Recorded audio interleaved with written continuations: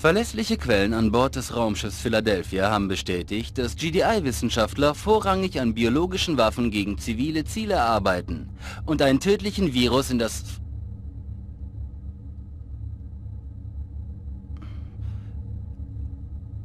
Also das ist eine Überraschung. Bitte, mach doch weiter. Der Chef der GDI-Truppen, General Solomon, soll nach jüngsten Berichten geistig nicht zurechnungsfähig. Weitere Meldungen. General Hassans schwache und unfähige Regierung wurde heute abgesetzt durch Kräfte innerhalb der Bruderschaft, die Nord vereinen wollen unter einem neuen Führer, Anton Slavik. Errettet vom Tod durch die göttliche Hand von Kane und freigesprochen von allen Anschuldigungen des Verrates. Er tritt nun an die Spitze, um uns zu führen. Folgt ihm und ihr folgt Kane. Zeit für das Ende von Hassan. Kairo, baut und beschützt eure Basis. Dann erledigt den Möchtegern Pharao.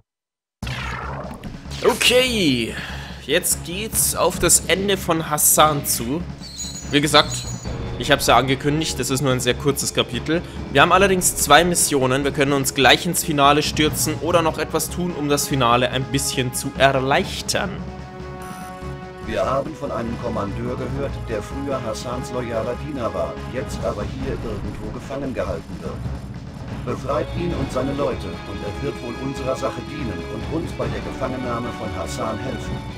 Dieser Kommandeur könnte Informationen haben, die für meine ihrer Bewegung wichtig sind. Ja, wir sollen also einen Kommandeur befreien. Das wäre diese Nebenmission, die wir machen können. Das andere wäre die Hauptmission. Und man hat es vielleicht schon geahnt oder hier mal gesehen. Die Aussage vom Kabal gerade, wo er so gezögert hat am Schluss, der führt tatsächlich noch das ein oder andere im Schilde. Das werden wir aber nach der Kampagne erleben. Jetzt stürzen wir uns erstmal hier in die Befreiungsaktion, die äh, stellenweise sehr tricky sein kann. Wenn man nicht weiß wie. Die wird übergeben. Bitte warten. So, das sind unsere Einheiten. Da müssen wir rein. Und wie ihr seht, es gibt natürlich jede Menge Lasertürme, es gibt jede Menge Verteidiger und das da, nee, das ist nicht der Kommandant. Der Kommandant, den wir retten sollen, der ist irgendwo keine Ahnung, irgendwo in dem Stützpunkt. Ich weiß es nicht mehr. Man kann jetzt natürlich versuchen, mit der kleinen Truppe hier durchzubrechen.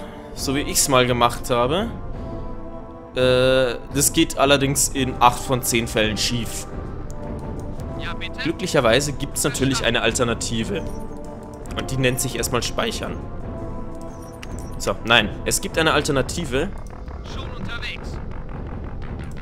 Und zwar düsen wir einfach mal hier nach unten. Oh, hoppla. Was ist ein GDI-Soldat?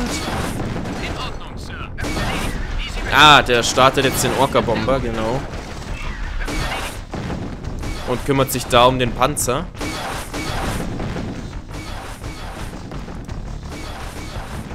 Was auch immer der Typ hier gemacht hat, ich habe keine Ahnung.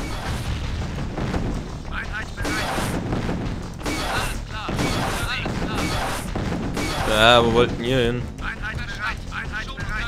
Fahrt mir bitte da unten durch und nicht oben. Das ist ja wahnsinnig. Und ich würde zu gern wissen, was hier sitzt, weil da ist so ein fettes weißes Symbol. Das ist nicht der Tunnel.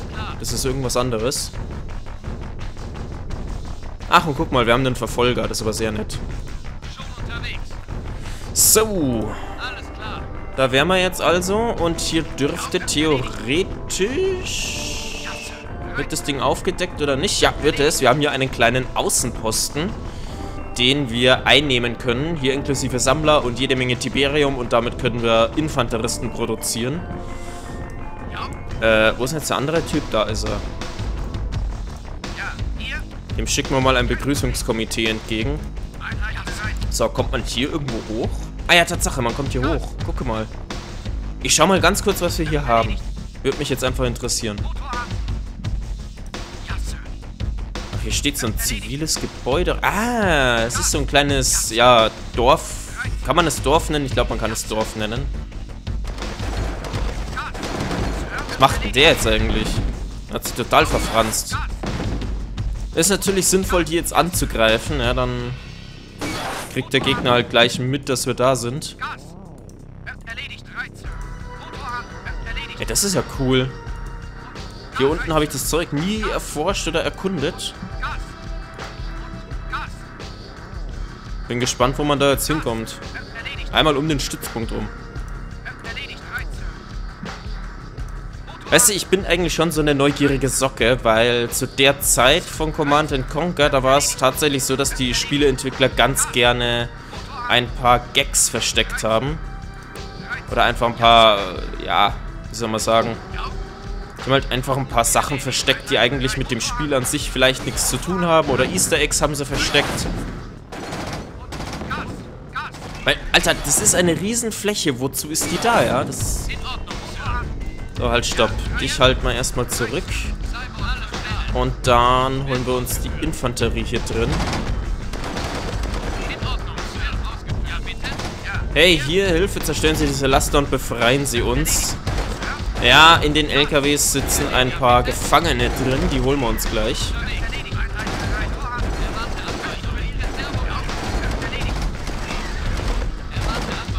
So, die Wachen werden erledigt.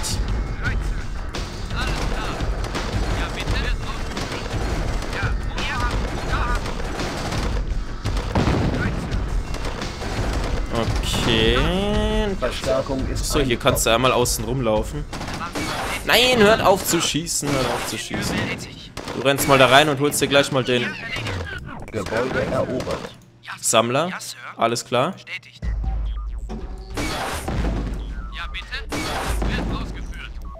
So, da hat man den zweiten LKW. Gebäude erobert. Verstärkung ist Und da hätten wir nochmal ein paar Soldaten. Okay, jetzt sollte der Stützpunkt eigentlich soweit safe sein. Oder auch nicht. Klar, ja, okay, der schickt Infanterie los, um uns zu attackieren. Ist mir auch neu, dass er das macht in der Mission. Einheit bereit. So, und hier gibt es natürlich einen kleinen Hintereingang. So. Da hätten wir es. Da müssen wir natürlich selber erstmal noch ran mit dem Ingenieur. Wir könnten natürlich mal die Stromversorgung wieder in Betrieb nehmen. Ja, dass wir hier mal ein bisschen, bisschen was sehen wieder. Und dann sollten wir vielleicht mal Verteidiger ausbilden. Einheit bereit.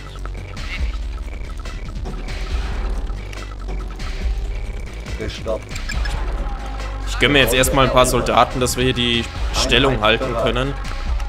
Ich meine, allzu schlimm sind die Angriffe vom Gegner ja noch nicht, wie man sieht, aber nichtsdestotrotz muss nicht sein, dass der uns jetzt noch irgendeine böse Überraschung verpasst, der Bursche.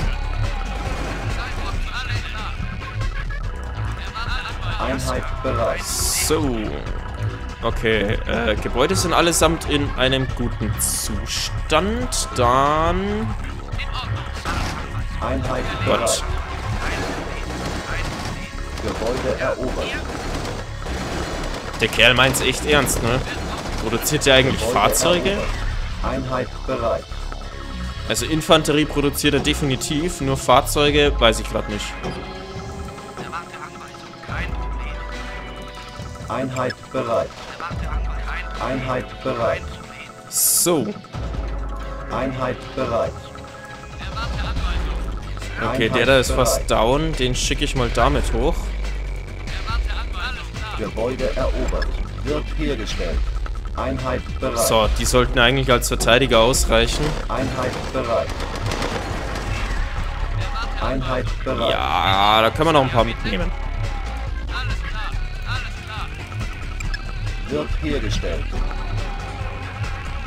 So, wenn uns die Kohle ausgeht, können wir auch mal die Spielgeschwindigkeit hochschrauben. Und einfach warten, bis der Sammler wieder Tiberium abgeschmissen hat. Weil allzu schlimm ist es noch nicht, wenn du in der Mission zu viel Zeit vergeudest. Einheit bereit. Ich glaube, ich mach das mal gerade. Zu wenig Geld. Einheit bereit. So, euch mal da hoch.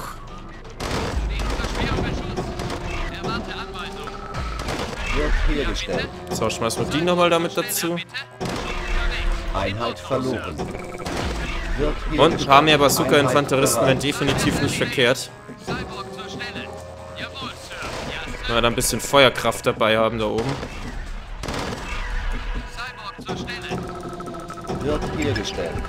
So, bereit. spuck mal hier mal ordentlich Soldaten aus. Einheit verloren. Abgebrochen. Gut, das reicht dann auch wieder mit der Zeitraffer-Erkundung hier. Halt, einmal kurz speichern. Sicher ist sicher. Okay. Wir gönnen uns hier die Brücke und dann geht's los. Ich weiß nicht, ob es so schlau ist, mit den Fahrzeugen vorzupreschen, aber naja. Wir haben ja hier mit Sicherheit nochmal ein paar Verteidigungsstellungen von ihm. Ja, da ist so ein Panzer. Ja, super. Das wollte ich eigentlich vermeiden. Oder ist es doch der Commander, den wir befreien müssen? Ich weiß es nicht mehr. So, äh, ja, wie gehen wir denn vor? Verteidiger ausschalten, Produktionsgebäude ausschalten. Ist, denke ich mal, nicht verkehrt. Oh, Lasertyp. Ach, da unten ist der. Okay. Einheit verloren. Können wir eigentlich mit, dem- mit dem Not-Mod das Ding angreifen? Nee, der muss zu nah ran. Einheit verloren. Einheit verloren. Was ist das eigentlich für ein Typ? Kenn ich gar nicht. So, okay. Ja, dann müssen wir jetzt leider Gottes da rein und einen Laserturm fertig machen. Ja, scheiß auf das Fahrzeug gerade mal. Hauptsache, der Laserturm geht jetzt dann gleich flöten. Einheit verloren. Verstärkung. Okay, raus da, raus, raus, raus, raus, raus. Einheit verloren. Einheit verloren. Okay.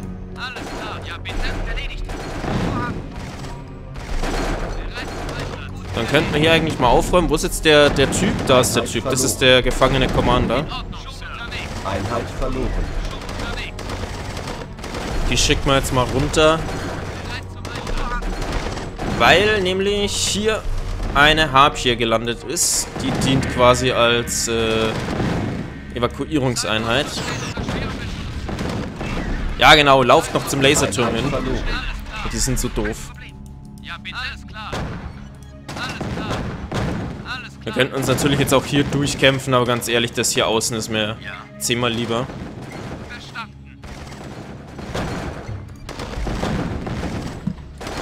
So, hier können wir ein bisschen aufräumen. Beziehungsweise wir können auch nochmal Aufklärungsarbeit betreiben. Das ist ja auch wieder so eine Ecke, wo ich mich gar nicht auskenne. Weil ich nie wirklich geguckt habe, was es hier so gibt. Aber scheinbar gibt es hier nicht allzu viel.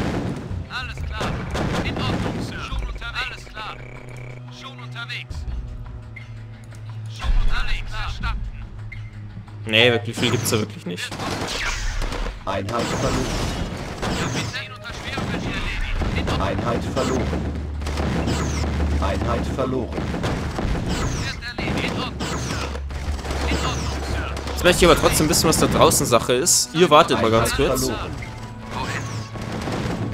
Was? Der ist da oben lang gelaufen und die Lasertürme haben ihn nicht erwischt. Einheit verloren. Okay, nicht schlecht. So, was ist da oben? Einheit Gibt's da irgendwas für uns? Oder ist das einfach nur eine Sackgasse, die Einheit verloren. keinen wirklich zu interessieren hat? Schon unterwegs. Verstanden. Ja, bitte. Alles klar. Sieht fast nach letzterem aus. Ja, ja, nee, da, da ist nichts mehr. Okay, gut, beenden wir die Mission. Bringen wir den zum Landeplatz, dass er hier raus kann. Ein tapferer Soldat greift hier noch die Basis an. Aber das war sie schon. Das war sie, unsere kleine Befreiungsaktion. Einsatz erfolgreich. Einheit bereit. So.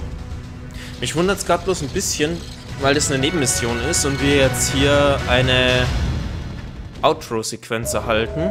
Das ist eigentlich eher untypisch. Das gab es bei der GDI-Kampagne nicht. 12 Minuten und 30 Sekunden. Ja, das war ein bisschen flott. Also am Anfang gehen die Missionen noch echt flott von der Hand. So, dann würde ich sagen, auf zur finalen Mission, wo wir Hassan endgültig in den Hintern treten.